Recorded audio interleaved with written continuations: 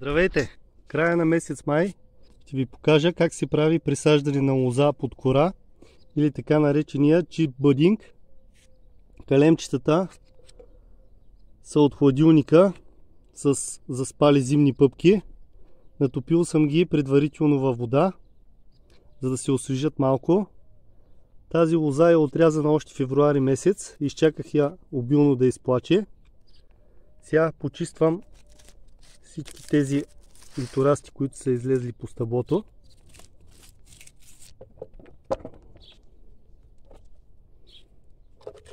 И започвам самото присаждане. Ще го направя ето тук и от другата страна.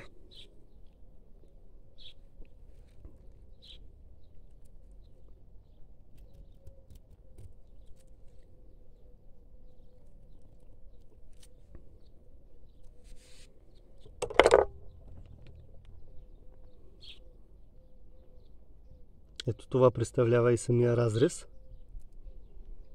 Както вече казах, много е важно лозата да не е в активно сокодвижение. Сега ще ви покажа и как се взима самата пъпчица.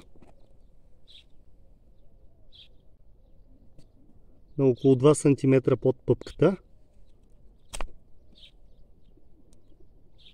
И 2 см над самата пъпка. Така с поклащане.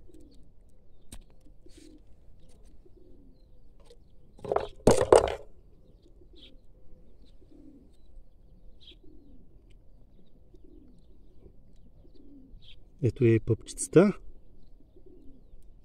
Сега проверяваме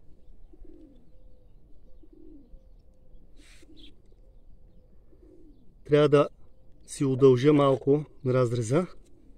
Отбелязвам си докъде.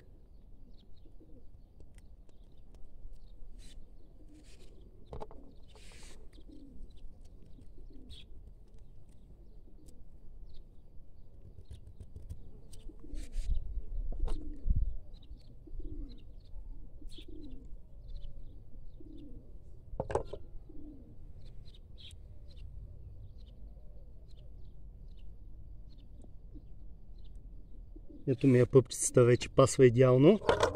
Искам да ви покажа нещо много важно.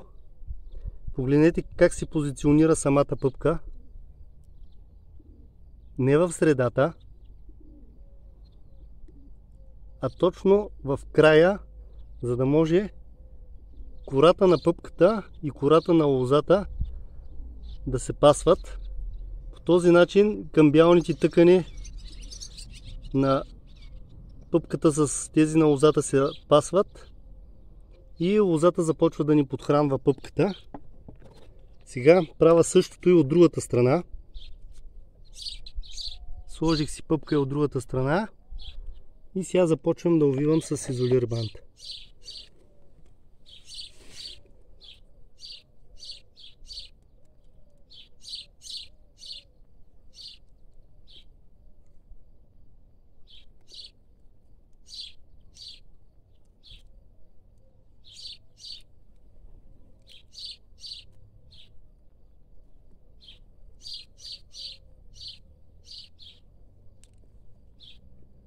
Много е важно от никъде да не влиза въздух.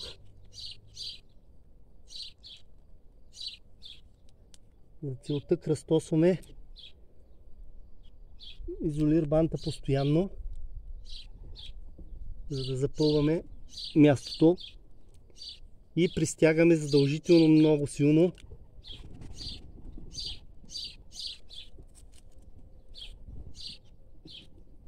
за да се притиснат хубаво пъпките.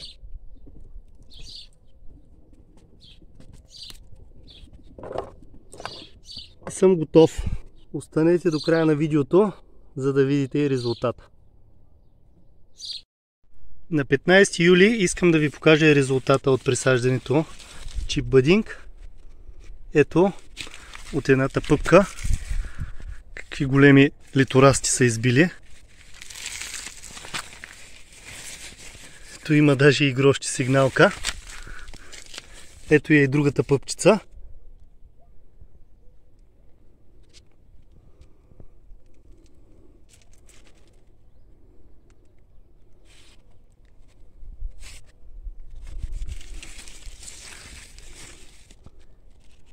Ако видеото ви е харесало, може да ми подкрепите с един палец нагоре. Лозата, присъдена по метода на чип бъдинг, дава нормално грозде още през следващата година. Искам да ви покажа тази лоза, колко много риса има на следващата година след присаждането.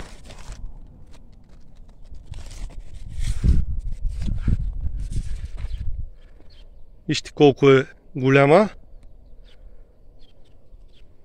Дори нейните литорасти са по-големи от тези на останалото лозе.